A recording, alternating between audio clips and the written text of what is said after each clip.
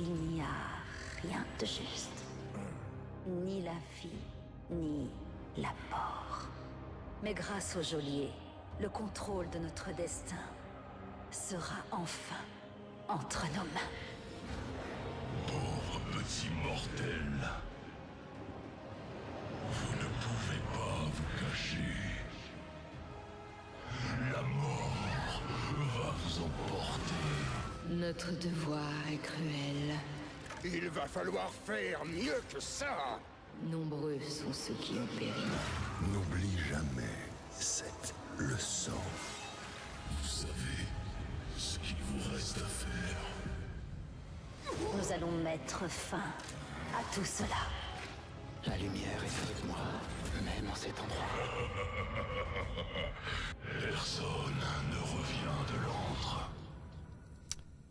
Et bonjour J'espère que vous allez bien, on se retrouve sur, euh, sur cette vidéo. Alors donc c'est un trailer, c'est une bande-annonce pour Shadowlands et euh, il va falloir en parler un petit peu parce que c'est vrai que euh, c'est quelque chose qui est, je dirais, assez sympa, assez sympathique, même si ça nous apprend pas non plus des milliards de choses. Alors ça va être dur de pas spoiler, donc je vais essayer de spoiler mais un petit peu sans trop trop dire, donner de détails, mais on est obligé un petit peu d'en parler. Alors euh, tout d'abord bien sûr c'est du, comme c'est un trailer, comme c'est une bande annonce, c'est fait avec pas mal de morceaux de cinématiques, celle bien sûr que j'ai déjà analysé du, du pré-patch, il y en aura d'autres, du pré-patch qu'on va revoir aussi et euh, certaines qui sont euh, des cinématiques que j'ai déjà euh, que j'ai déjà capté concernant Shadowlands qui nous manquait puisque j'ai pu jouer à la bêta donc avoir des placeholders qui étaient enfin donc en gros des cinématiques manquantes qui nous étaient marquées et du coup là j'arrive à les remettre dans le contexte donc on va essayer de faire une version au départ sans spoiler, même s'il y aura un minimum de spoiler quand même, mais c'est pas des gros gros spoilers, donc là-dessus vous en faites pas. Alors déjà, euh, on nous montre, ça c'est intéressant, c'est euh, Dan User, donc euh, le lead narratif, donc le, le- le grand ponte on va dire du lore de Warcraft qui avait dit que de toute façon le plan de Sylvanas, on en aurait, on aurait beaucoup plus d'infos au début de Shadowlands, donc ça à mon avis c'est un extrait d'une cinématique, enfin ce qu'elle dit, hein, ce qu'elle dit pas, euh, pas le passage avec Bolvar, ça vous avez vu que c'est bien sûr euh, la vidéo du pré-patch que j'ai déjà analysé, hein, évidemment avec euh, ces deux bras droits tout à fait logiques que sont Nazgrim et Whiteman, on reviendra pas dessus. Mais du coup, ce qu'elle dit par contre, euh, il n'y a pas, il n'y a rien de juste. Ni la vie, ni la mort.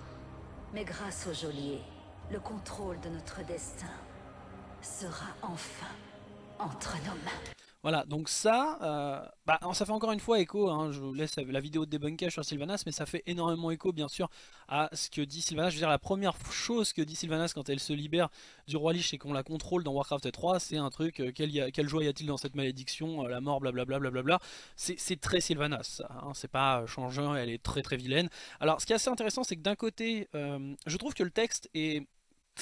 correspond bien aussi encore une fois à Sylvanas en mode euh, voilà, il n'y a rien de juste, la justice ça n'existe pas, l'honneur, tout ça, ça n'existe parce que là il dit pas l'honneur, mais en gros c'est un peu ça, je- tout ce qui est justice et tout ça n'existe pas, c'est des conneries, Euh, ni la vie ni la mort, il n'y a aucune justice nulle part, Euh, mais grâce au geôlier, on va donc, grâce au geôlier, le contrôle de notre notre destin Sera enfin sera enfin entre nos mains. Donc d'un côté ça montre son allégeance au geôlier, mais de l'autre le sera enfin entre nos mains, c'est hum, très ambivalent, je dirais. C'est à la fois en, mode, euh, ça peut donner l'impression, voilà, qu'elle sert le geôlier et du coup, bah, grâce à ça, elle va pouvoir se sauver elle-même. Mais on connaît Sylvie, on la connaît la petite Sylvie. On sait, on sait que elle fait jamais ça. euh, Il y a toujours un intérêt personnel qui est très très fort et elle sert pas, elle sert personne au final. Enfin, on sait qu'elle peut attendre même. euh, moi, c'est depuis Vanilla, je considère. Mais qu'est-ce qu'il y a fou dans la Horde? Et il a fallu attendre 15 ans pour dire, bah oui, en fait, elle en avait rien à foutre de la Horde. Donc voilà, c'est là-dessus. euh, pour moi, ça ne change pas dans ma vision que j'ai de Sylvanas. Pour moi, elle va se servir du geôlier pour pouvoir échapper à son destin de, de souffrance, mais probablement euh, la trahir. J'ai pas de, j'ai déjà fait des vidéos là-dessus. Je, pe- je pense pas, je pense que, je pense que ça continue dans ce, dans ce sens-là. Alors la cinématique, j'y reviendrai dans la version spoiler, mais ça devrait être une cinématique soit qui arrivera au début, euh, soit au pré-patch, soit, euh, soit pré-patch, soit euh, tout simplement début Shadowlands. On, y reviendra. Alors je vais pas décrire plus la situation, l'endroit, je le ferai dans la version avec spoiler, mais bon voilà, là, là on nous présente le geôlier, et ça va être un point noir on va dire.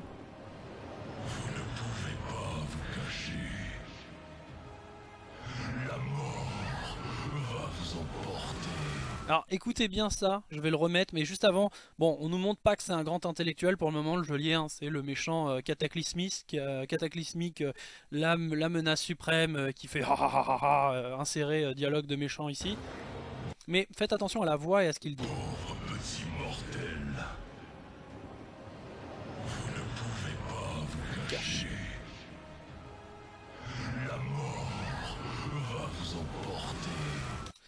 Je, trouve que... alors, je suis désolé, je vais devoir faire euh, écho à quelque chose, peut-être qu'il y a un lien, je sais pas. Vous ne pouvez pas vous cacher. Je vous vois. Il n'y a pas de vie dans le néant. Seulement la mort. Ah c'est marrant, ça me rappelle un truc ça. Je, je sais pas de de- d'où euh, vient cet extrait, de, de quel univers, je, je sais pas trop. Passons. Mais bon, du coup, hein, euh, c'est marrant, il vient dans une terre grise et on entend un mec qui dit qu'il peut pas se cacher de ses yeux, enfin de lui, la mort, tout ça, tout ça. C'est marrant. Je- le parallèle est... Voilà, je, je ne m'attarderai pas plus, mais c'est marrant. Enfin, ça m'a vraiment choqué. hein. Sur le premier visionnage, j'ai entendu ça et je fais... Ça me dit quelque chose Et en soi, en soi, que on s'inspire de ça, ce n'est absolument pas négatif ou mauvais. Je veux dire, euh, Blizzard s'est toujours inspiré d'autres univers pour faire son truc. C'est quand même assez éloigné, même si on comprend le délire. Tant qu'il n'y a pas un gros œil rouge qui te regarde dans l'antre, bon, voilà, normalement, euh, je pense que ça reste, ça reste assez fufu, mais le timbre de voix, les propos, la situation, ça m'a beaucoup fait penser à ça quand même. Alors là, c'est intéressant. Va falloir faire mieux. Mais il va falloir faire mieux que ça, Nathanos, tout ça, tout ça. Alors Nathanos va être... euh, donc là, c'est un... Je sais pas, c'est difficile à dire la barre du spoiler. C'est à fois un spoiler et pas un spoiler, mais cette cinématique, c'est pré-patch. Et euh, du coup, bah, elle est dans la cinématique, donc est-ce que c'est vraiment un spoiler? En gros, bah, c'est dans le pré-patch. C'est dans le pré-patch, je vais pas donner plus d'infos là, j'y reviendrai juste après dans la version spoiler. Mais voilà, c'est en gros une des cinématiques de fin de pré-patch. Mieux que ça. Nombreux sont ceux qui ont péri. N'oublie jamais. Alors un peu déçu, mais euh, la... la reine de l'hiver, je comprends toujours pas comment ça se passe parce que d'un côté, euh, côté, elle articule pas, même dans les quêtes de bêta, hein, des fois elle articule pas, donc on la voit juste entendre avec sa voix euh, et sa voix éthérée là qui nous parle, donc on se dit bon bah elle parle pas, comme dans comme dans le prémisse, enfin dans le dans les éternités, et finalement là elle ouvre la, donc je sais pas, on verra Shadowlands quand ça sortira, est-ce qu'elle bougera les lèvres ou pas, ça vous penserez à moi quand vous le verrez. Alors là on voit une cinématique de, de, Revendreth, je vous donnerai les infos après, mais en gros c'est des nobles de Revendreth qui se battent entre eux, donc la rébellion face à Denatrius, tout ça tout ça. Alors là le geôlier parle à Thrall, donc Thrall, futur Warlock, non je rigole. Euh, du coup, je rigole, je rigole, il guinote l'avait dit, non pas du. Euh, du coup le, geôlier là, vous savez ce qu'il vous reste à faire, je suis un grand méchant, je donne mes ordres à mes grands sbires. Euh, là non plus ça le donne pas euh, un côté incroyable. Alors est-ce qu'il parle à Sylvanas? Est-ce que c'est une cinématique où il parle à Sylvanas? J'aurais tendance à croire que oui, mais peut-être qu'il parle à quelqu'un d'autre, on verra, on verra ce qu'il en est. Vidéo de flashback, donc est-ce que... Là pour le coup je ne sais pas vraiment quand est-ce que ce sera. On verra. Nous allons mettre fin. Alors là c'est très intéressant, Tyrande qui affronte Nathanos. Nous allons On y reviendra dans la partie spoiler. Nathanos qui arrache la flèche qu'on vient de lui tirer. Nous allons mettre fin à tout cela. Nous allons mettre fin à tout cela. Ça c'est super important. Euh, phrase de Sylvanas, nous allons mettre fin à tout cela. Pour moi ça conforte toujours ma vision euh, que Sylvanas va, euh, va, va, on va dire, aider euh, les gens tout en s'aidant elle-même, mais elle va aider les gens malgré elle, on va dire. Malgré elle, c'est pas son but final d'aider les gens, mais ça va être le résultat secondaire. L'effet secondaire, ça va être d'aider les gens, mais elle veut s'aider elle-même à la base. Pour moi, c'est ça, en fait, le délire. Il y a plein de petits moments de cinématique qui arriveront dans les différentes zones de congrégation, donc Bastion, euh, Maldraxxus, Revendreth évidemment. Euh, et j'y reviendrai dans la partie spoiler, et là on finit la lumière avec moi, même en cet endroit, donc là c'est Anduin qui parle, et on... si vous avez vu la, la cinématique de- de- de- d'enlèvement, bah, il, il est dans l'antre. Cet endroit.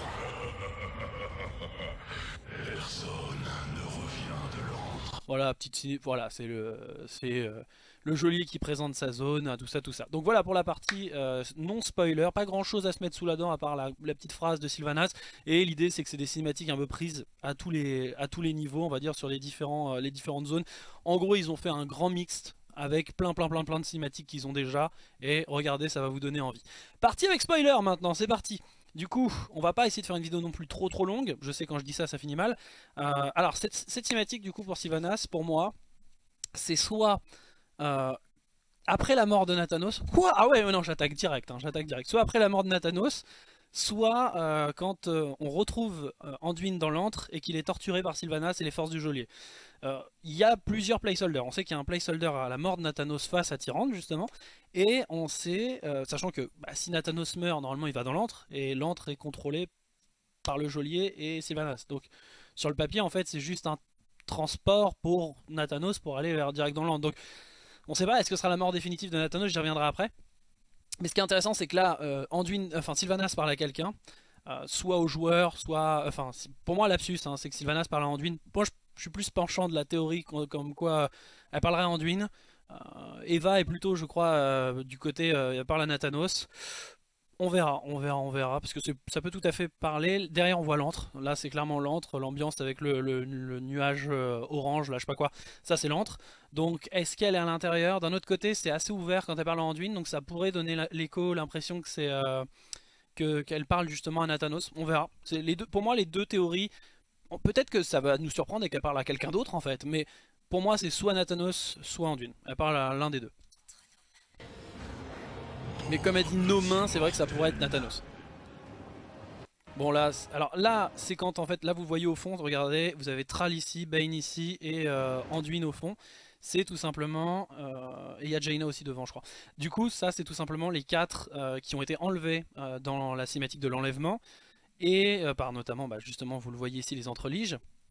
Et au final, eh bien, le geôlier nous montre ses paires de boules, à savoir son armée, hein, tout simplement. Donc il y a une première boule ici, une première boule là. Et il nous la montre, du coup, il nous la montre et il nous dit, voilà, j'ai une armée incroyable, blablabla. Et ça, c'est en gros la fin de cinématique de. Ça, c'est la fin de la période. De... C'est comme le rivage brisé à la Légion. Vous arrivez sur le rivage brisé, vous prenez une grande branlée, il faut s'enfuir. Bah, ça, en fait, c'est la cinématique euh, à la fin où on va s'enfuir. Et vous voyez, la pierre à l'arrière, c'est celle qui va nous permettre de nous enfuir. C'est pour ça qu'il dit personne ne s'échappe de l'antre. Spoiler, on s'échappe de l'antre. Euh, par contre, les quatre autres ne s'échappent pas de l'antre à ce moment-là. Donc, il faudra aller les chercher, il faudra les, retrouver. Mais euh, pour le coup, bah, nous, on s'échappe de l'antre. C'est d'ailleurs le, notre surnom quand on est dans les de l'antre. on est le mec qui est sorti de, l'antre. c'est le, sans entrave, on appelle ça. Ah, du coup, là, bon bah c'est les cinématiques de Bane, on s'en fout, on a déjà parlé. Alors ça c'est très intéressant puisque comme je l'ai dit dans la version non spoiler, c'est des rebelles de Denetrius et euh, c'est trois personnes très importantes dans la campagne de Revendreth, à savoir la conservatrice. Alors moi j'ai pas fini la zone de Revendreth pour me garder un petit peu, mais je sais à peu près qui c'est. Donc ça c'est la conservatrice, ça c'est Renatal, que je n'ai toujours pas croisé d'ailleurs, mais je le connais. Euh, je, n'ai toujours pas croisé dans la campagne. Mais en gros lui c'est le, leader de la résistance face à Denetrius. Et celle, celle que je connais et que j'ai déjà croisée, c'est elle, qui est l'accusatrice, qui faisait partie du conseil des nobles contre euh, Denetrius. Et d'ailleurs je crois que Renatal en faisait partie aussi. Et euh, l'accusatrice, c'est celle qui. En gros, lui va sacrifier et va être euh, enfermé dans l'antre pendant qu'elle va continuer à maintenir la résistance. Mais en gros, elle c'est la numéro 2, lui c'est le numéro 1 et l'autre c'était la numéro 3.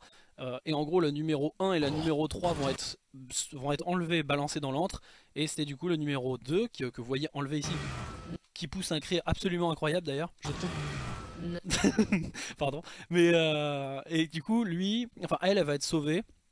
Et finalement, elle va devenir la tête euh, qui va prendre, euh, enfin, elle va résister contre Denetrius et elle va nous aider justement à libérer son maître.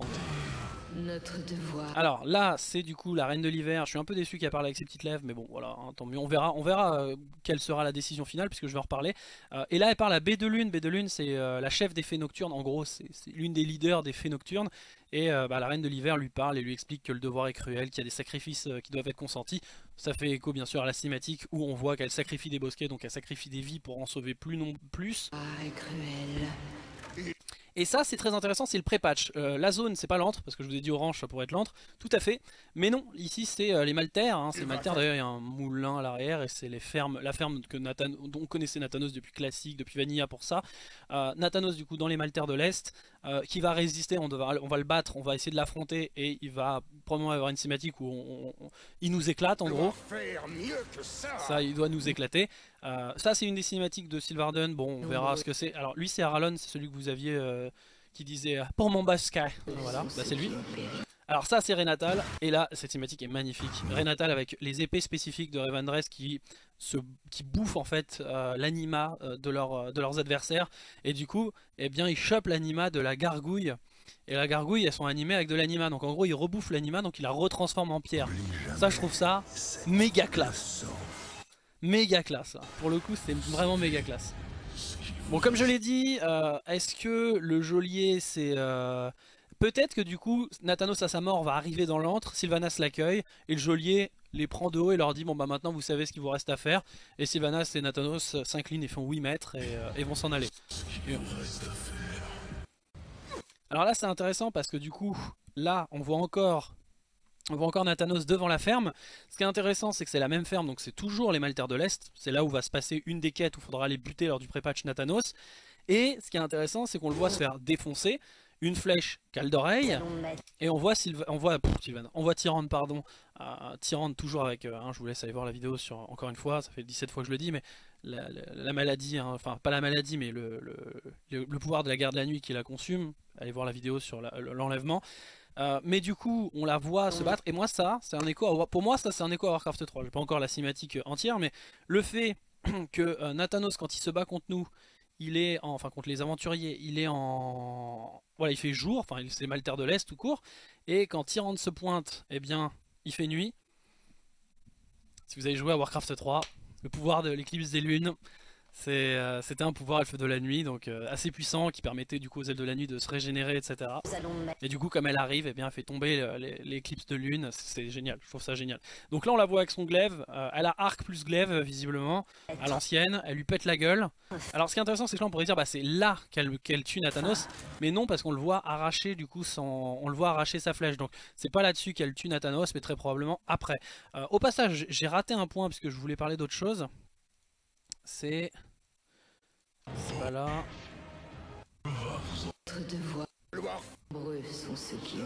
N'oublie jamais. Cette, cette n'oublie jamais cette leçon. Alors j'ai été regarder en vidéo anglaise pour savoir qui parlait, parce que ça, c'est pas la voix de Denatrius, ça. Ça, c'est euh, Theodore Atkins, c'est le doubleur de Jafar, c'est celui qui avait fait euh, la guerre de Milan, etc. C'est l'un des meilleurs doubleurs français qui existent. Il est monstrueux, Theodore Atkins. Et euh, bah, je me suis dit, mais attends, mais qui c'est? Je commençais à partir dans des trucs en mode, putain, euh, ça pourrait être le Primus, il pourrait refaire la voix du Primus, il pourrait faire la voix de plein d'autres gens. Et en fait, ça, eh bien, c'est tout simplement Denatrius. Dans la version anglaise, c'est bien marqué en sous-titre, Denatrius, n'oublie jamais cette leçon. Euh, don't forget this lesson, un truc comme ça. Et du coup, ça veut dire que en dehors de Bolvar qui change de doubleur dans la cinématique et en jeu, eh bien ça serait pareil pour Denatrius qui change de, voix. Ça c'est pas très pro hein, pour le coup même si c'est pas nouveau, Blizzard l'a déjà fait avant, dans des cinématiques comme ça, je trouve ça un peu, un peu triste. Dans, en pré-extension. Mais bon, il y a des raisons peut-être externes, hein. peut-être que Feodor Atkin avec le coronavirus, bah, il a été bloqué, il a pas pu faire les trucs, enfin c'est tout à fait possible. Hein. Bon ça on en a parlé, c'est probablement... Alors, vite fait, euh, là on voit du coup tout ce qui va se passer, on, va, on, voit des, cinématiques prises aléatoirement hein, dans les différentes zones, donc là on voit la suite de la cinématique avec Renatal qui va probablement se faire choper pour l'antre. Là c'est l'attaque, euh, ce sera un des donjons d'ailleurs, le sillage nécrotique, hein, c'est l'attaque de Maldraxxus sur Bastion. Là, c'est l'armée du geôlier quand il se pointe en disant ça c'est le geôlier, hein, vous voyez derrière là, euh, qui se pointe en disant je suis méchant, je vais tuer la gentille. Et bah ça avec ça, bon voilà c'est ton armée. Euh, ça, c'est... Euh, comment il s'appelle? Le serviteur de Devos, c'est... Ah J'ai oublié le nom ah j'ai oublié, je suis désolé, mais c'est le bras droit de Devos, en gros Devos c'est celle qui... Euh, c'est pas Devos, c'est pas Deva, c'est son bras droit, Lissonia, Lissonia pardon. C'est Lissonia du coup son, bras droit. Donc l'un des chefs de la, de la rébellion en Bastion. Et d'ailleurs le numéro 2, donc elle est au-dessus du terre. Et ça, donc c'est... Euh, bon, je vais pas vous donner tous les noms, etc. Parce que sinon je risque de vous perdre. Mais en gros, c'est un des un des serviteurs de, de Drakkar, en gros, de Maldraxxus dans la maison des élus. Je vois à peu près la cinématique où ça va se passer. C'est devant la maison de l'assemblage. Euh, donc voilà. Donc là, on voit encore Lissonia. Ça, c'est le runomancien. C'est celui qui a fabriqué euh, Frostmourne qui fabriquera tous les légendaires, et je crois que c'est juste une animation de la, fabrication de la, légendaire. Mais euh, donc en gros, bah voilà, c'est celui qui a fabriqué Frostmourne et le home de domination, l'armure du, roi Lich, donc l'armure de Ner'zhul. Euh, la lumière est avec moi même dans cet endroit. Là, c'est probablement donc la cinématique que j'évoquais euh, où il va avoir des explications avec Sylvanas. Après, est-ce que Sylvanas, quand elle parle au début, est-ce que c'est ce moment-là avec Anduin? Mais en tout cas, Anduin est attaché comme ça. Et du coup, il a un face-à-face avec Sylvanas et on devra le libérer à ce moment-là. Donc voilà, il dit la lumière est avec moi même en endroit. Il continue à croire en la lumière même au, fin fond des enfers de l'antre. Et on entend le joli qui. Personne ne revient de Land, spoiler. Si, nous, on en reviendra. Donc voilà, c'était un petit petite vidéo, bon 20 minutes quand même. C'était assez court, mais euh, bah voilà, je, trouve, il n'y a pas non plus des milliards de choses à dire. C'est plein de cinématiques, comme je l'ai dit, qui sont prises hors contexte et qui sont rassemblées ensemble pour vous donner envie de jouer à, Shadowlands. On a la date d'ailleurs, ce sera le 24 novembre si je ne dis pas de bêtises. Euh, d'ailleurs ça me fait un peu peur que ce soit si tôt. Euh, vu qu'il y a un report, je m'attendais à ce que ça soit comme Per Burning Crusade avec un double report et que ça parte en janvier. Parce que bah, un mois après, je connais un truc comme ça qui s'est passé, c'est War 3 Reforge. Donc j'espère que ça ne sera pas comme War 3 Reforge et que le lancement sera moins chaotique. Mais voilà, voilà, voilà. Donc euh, j'espère euh, m'inquiéter pour rien. du coup, voilà, cette cinématique elle donne pas énormément d'infos, mais c'est euh, bah, pour le truc avec Sylvanas c'est cool et vivement le pré-patch du coup pour voir un petit peu les cinématiques liées à Nathanos notamment. Donc euh, plein de bisous, normalement euh, on retrouve ça je sais pas quand, mais le pré-patch devrait accélérer vu, qu'on a la date, donc probablement tout le mois de novembre. Donc voilà, plein de bisous, n'hésitez pas à vous abonner, à liker tout ça tout ça, à partager autour de vous, et on se dit à bientôt pour une prochaine vidéo. A plus dans le Nexus, et je prépare la vidéo sur les vulpérins, voilà. Et de toute façon, on va finir avec... Pouvez pas vous cacher. Ah, bonne-toi. ah, bonne-toi. Il n'y a pas de vie dans le néant. Seulement l'abonnement. La mort. Oh, ça rimait.